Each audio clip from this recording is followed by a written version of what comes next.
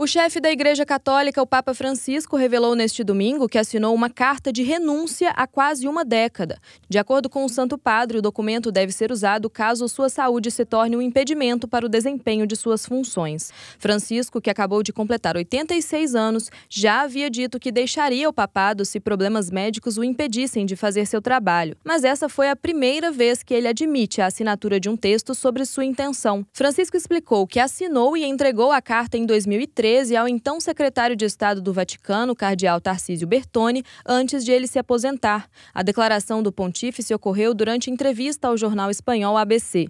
Francisco tem dificuldade para andar devido a um problema inoperável no joelho que o obrigou a usar uma cadeira de rodas nos últimos meses. Ele também teve que cancelar ou reduzir as atividades várias vezes no ano passado devido à dor. Em uma entrevista em julho, ele reconheceu que precisava desacelerar. O antecessor de Francisco, Bento XVI, renunciou em 2013 devido a problemas de saúde. O Papa alemão vive agora na cidade do Vaticano.